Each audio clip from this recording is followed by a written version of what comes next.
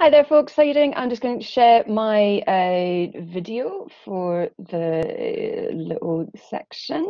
Um, I've just realized I can't see my slides anymore, which is somewhat confusing.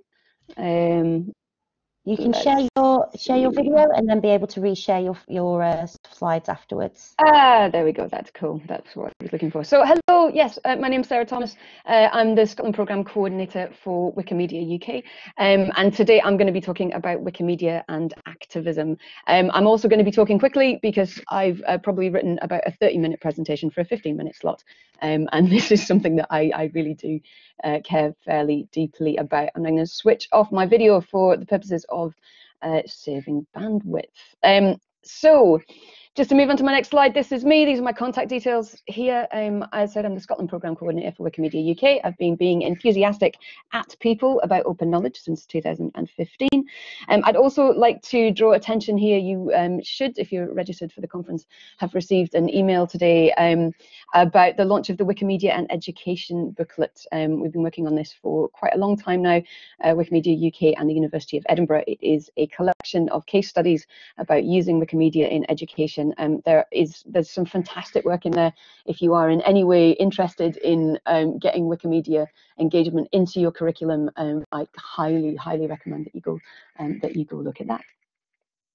Um, so moving on, this this uh, this slide here is an illustration that came out of Wiki EDU 20, um, which was a satellite event of OER 20, um, uh, and this event took place in uh, the, at the Coventry University in February, when uh, back when coronavirus was something that just happened to other people. Um, it was a gathering of wiki interested educators from all over the country, and in attendance was the, the rather fabulous Bryan Mathers of Visual Thinkery. And this is one of the illustrations that he that he came up with, and it's important to me because it was an enduring theme of the day, and this idea that engagement with the Wikimedia project has a direct link to activism. Um, as a phrase, as a concept, um, it's something that I first came across in an interview with a Wikipedia editor called Lucas Reynoso, who was studying at the University of Edinburgh, when he said that he liked editing Wikipedia because it allowed him to become an activist of knowledge. And this theme was really interesting to me, not least because I knew I was uh, giving this presentation, and it's always nice to see that he works on trend. In this session, I said I wanted to look at the potential and the limitations of Wikimedia project engagement, open education for civic engagement and democracy, and ask if information literacy should be considered a key skill for effective participation in citizenship. So spoiler alert, I really, really do. Um, because I don't think that we're often given as a society access to the best quality of information that is necessary to make big and important decisions.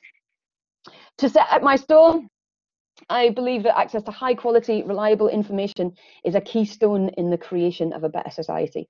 I believe that open practice is important because I believe that general public deserves access to high quality, accurate information.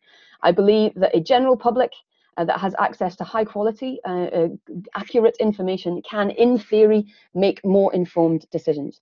Informed decisions are, in theory, better decisions, and in theory, better decisions should lead us towards a better society. So for me, open practice has a moral and ethical dimension. I think there is a need for this. There is a need for us to be providing high quality, accurate information, and that's because people are in search quality, reliable information. I'm hoping that this slide will come out. Um, these are some screen grabs uh, that I took uh, last week of the page views on Wikipedia for various uh, Wikipedia articles to do with coronavirus. Um, this you hear that there were something so this is the one for coronavirus the general coronavirus 14.8 million people looked at that um, in the period between the 1st of February and the 25th of March. If I move on to the next one, this is coronavirus 2019, which is the, the specific strain that's affecting us at the moment. Um, 6.8 million people looked at that during the same time period. This is the one that really blows my mind. The, the, the, the, the page for the 2019-2020 coronavirus pandemic, the particular event that's happening, for uh, 15.6 million people looked at that um, uh, article uh, during that time period with a, an average of 1.1 million people per day looking at that information. Um, those uh, numbers have gone slight down slightly now. Um, I'm going to tweet out the link to my with some links in there um, after this, uh, and you'll be able to see that, that now fewer people are looking at that. But basically, the TLDR on this is that people are in search of information. Open knowledge lets us stand on the shoulders of giants. This is the thing that we keep on saying. Open knowledge leads us to cures faster. So people like the Wellcome, um, uh, uh, Bloodwise, uh, Cancer Research UK all know this. If you get a grant from them, um, then you have to publish your findings openly because open research leads us to cures faster. This does, of course, um, assume this idea that, that we should publish things openly and that this will lead us to better society assumes, of course, that anyone's reading. These, uh, this is one of the most depressing things I've ever seen on the internet. Um, these are the page views for uh, the European Union uh, take a Wikipedia article, um, English Wikipedia for the European Art, uh, Union, taken on the 27th of June, the 22nd of June, sorry, so that's 55, 9,198, uh, 55,000. Uh, the 23rd of June, 100,000. And uh, the 24th of June, which uh, the eagle-eyed among you will recognise as the day after the uh, the referendum uh, in the UK on um, uh, the, the, European Union, 1.2 million. So that's the day after more people looked at it. So when 1.2 million people look at the Wikipedia article on the EU on the day after the 2016 UK EU referendum, compared to just 56,000 the day before, you can sometimes be left wondering what the point is the starting point that we have here is that access to information is key. The access to information is what we need. But it's a fallacy, of course, to believe that access to information purely on its own equals instant enlightenment. Information literacy, the desire to look for information, to be able to understand it, to ask intelligent questions of it, should, to my mind, be a key skill for the effective participation in democracy. We keep getting asked to make big, huge, life changing decisions based on incomplete and inaccurate information, and that is not good enough. Knowledge is knowing that tomato is a fruit. Wisdom is not putting it into a fruit salad. So, to my mind, knowledge is nothing without literacy. Just providing information isn't isn't enough. People have to want to look for it. We have to understand how to be able to interpret it. And perhaps the lesson in the comparison of these two events and those those screen grabs is one about public consciousness, about a desire for information and the role of public discourse in determining what it is that people look. And um, I nearly put those two events in the opposite order, to be honest, because it was a bit more hopeful. But I, I, I thought that, that that kind of would have been that would have been a bit too easy. Um, knowledge is, is nothing without literacy. Um, at Wikimedia UK, we know a bit about literacy. We a bit know uh, a bit about digital literacy and media literacy and data literacy. Um, last year, two years ago, um, we did a bit of research uh, mapping Wikimedia project engagement against existing digital literacy frameworks in the UK. I highly recommend that you take a look at that. It's a really detailed piece of work. Um, and it, it really has, has revealed to us how the work that we do engages with these existing frameworks of data literacy, um, information literacy, media literacy, and how that kind of core belief that engaging with our projects can really help with those. One of the things that I want to touch on here is, is neutral point of view. So neutral point of view is a, a really central tenet of, of, of, Wikipedia. It is a pillar of Wikipedia um, and it, it, comes back, it, it, really speaks to the idea that Wikipedia should not be biased, that as far as possible um, it can be neutral and that it reflects just the facts. There's been a lot of pixels built on non-political action um, within Wikipedia. Uh, it's also crucial in the idea of uh, reaching consensus. Katherine Maher, uh, the CEO of the Wikimedia Foundation, has pointed out that Wikimedia is the one place on the internet where you go for an argument and you become more reasonable over time. But open practice is not non-political. Open practice to me is intrinsically linked to issues of social justice neutral point of view can be difficult for a couple of reasons. Primarily because nothing is ever truly neutral. It's it's uh, complete objectivity is, is really difficult, um, and it, can it can tie people up in an obfuscation of privilege and the the occasional mischaracterization of the, as the of the endeavor to plug particular gaps in knowledge as being a soapbox or agenda and uh, an agenda. And this is unfortunately where we sometimes see the on-wiki perpetuation of off-wiki societal issues, the recreation of bias, um, the ways in which which knowledge is produced is not neutral and it is an effect of privilege to believe that it is. For the most part, the wiki community is also aware of its own issues with systemic bias, um, for example, around gender. It's also been well documented how uh, documented how some countries have banned or sought to restrict access to Wikipedia, including Turkey, China, and Russia. And in this way, we understand that providing free access to information is a political and in sometimes context, in some contexts, radical act. Um, this is the slide I've got now is the Wikimedia Foundation's uh, strategic uh, kind of movement strategy um, for 2018 to 2020. And I, have pointed to the, the, the, last aspect there of knowledge equity. This is something that Lorna Campbell talked about yesterday. Um, knowledge equity, looking at the gaps in knowledge, looking at structural bias, looking at how it is that knowledge gets onto the biggest encyclopedia in the world. Um, we've been aware in the wiki community of, of, of, these issues for a long time. We've been working to address it at a community level and at a strategic level. One of Wikimedia UK's strategic goals for the upcoming years is that of addressing underrepresented content with focus on those voices left out by structures of power and privilege. And this for me is where learning intersects with agency and of learning as a political act. Dr. Al John did some research on um, editathons at the University of Edinburgh um, a couple of years ago, and the key quote um, from the from her uh, from the work that she's done around that, around looking at the editathon and the process of becoming a Wikipedia editor, is that learning becomes personal, that it triggers forms of agency.